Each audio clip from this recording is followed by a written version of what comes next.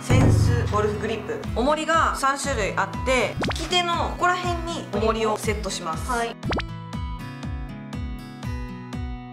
フェイス面が向いてるところが分かりやすい。このグリップだけでこのパターの重心とかね感覚を変えられる。すごいおすすめ。センスグリップス .jp 皆さんチェックしてみてください。はい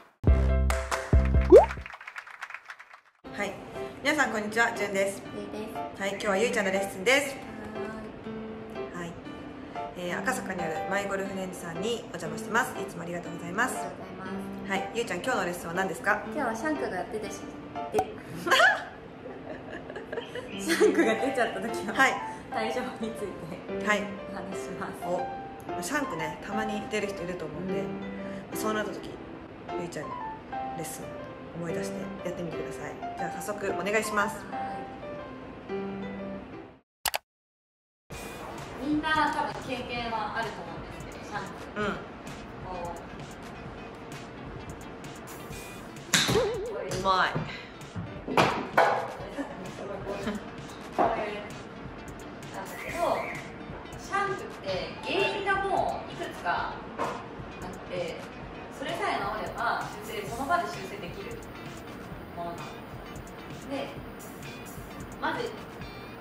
一番よくあるのがボールと自分の立ち位置が近い。うん。こういう状態とかだと例えば上げますでダウンセグの時にちょっとでも自分の体こう前に出る動作があると、もうヒール側に当たっちゃってこういううんうんボールになっちゃうのでまずこれが1個、うん。ちょっと近いんじゃないかなっていうこととあとは振り遅れって体の回転に対して腕の動作が遅すぎるうん。状態で、こういう。ほうこの体がここまで回ってる時には腕ってもうこの辺りまで動いてるんですけどそれがこう振り遅れすぎてなってー体と手がバラバラになってる場合そのねタイミングが合わない、うん。うんこれがまああ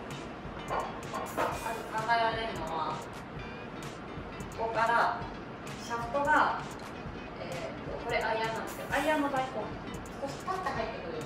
うんうん。このですねこういうふうにそれが寝すぎちゃうで要はインサイドから入りすぎちゃう。はいはい。っていうのと、まあ、一緒なんだけどこういうふうに寝すぎるとさっきと同じでこのうん。見当たってこういうシャンク。になっちゃう。シャンクうまっっていうのが、いくつかある原因の中で、うん。大体みんなそのあたりで陥ってるんじゃないか。うんうんうん。なので私だいいつもこうシャンク出ちゃう。急にシャンクが出ちゃった。でも止まらない。治らない。うん。って人にはとりあえずボールと距離近づきませんか。うん。っていう話とあともう一つ振り遅れないように腕を早く振ってください。あもうこの振り遅れて当たっちゃってる人ってそれがもう体が正しいタイミングだと思って振ってるから何回も何回も同じことを繰り返しちゃで自分が持ってるよりも早く腕を振っちゃってください。ーうんうんうん。もうこの位置で腕をこうやって振っちゃうぐらい、うん。引っ掛けるんじゃないかぐらいの感じで振ってください。っていうのがもう完全に応急処置のシャンプーですで例えばこうレッスンとか練習場とかで私が目の前にいてシャンプーしちゃってってなったらすごい詳しくこう説明して、うん。とか修正したりとかできるけどもしなこういないラウンド中に急に出ちゃったっていう時は、素振りとかでとりあえずトップから腕だけ先っぽへ下ろしちゃうはいはいこういう状態はい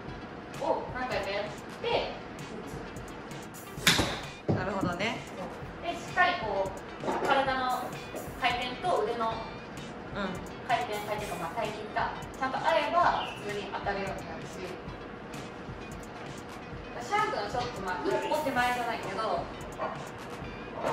私はもうシャンク打つことはないけどたまにプッシュするときがプッシュアウト、うんボールがね。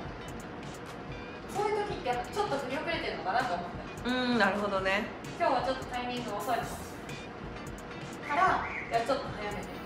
みようってドローになる。っていう時とかもあるし、うんなんか思自分の思ってるタイミングと実際に行われてるタイミングが全然違うとそういうなるほどね。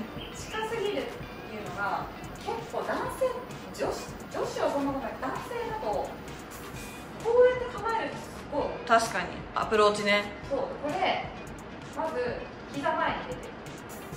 膝が。うん。で膝前に出てるとバックスイングの時に伸びる。うん。かこうなってる、うんうん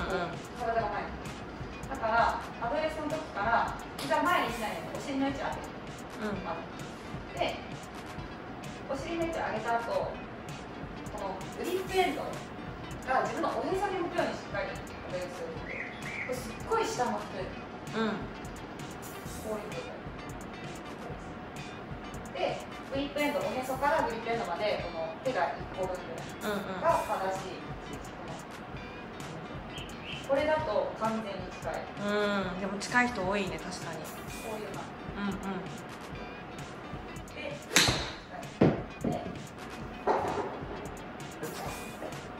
かりました。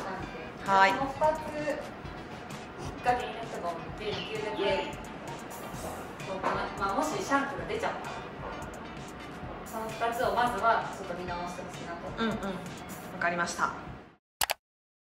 はいということで今回の動画は、えー、とシャンク出ちゃったらどうすればいいかってことをゆうちゃんに教えてもらいました。はい。まずはね近くないか確認してそれから、まあ、コース出ちゃったらなるべく手をちょっと早く振るっていう。れないよということを皆さんぜひやってみてください。ということで終わります。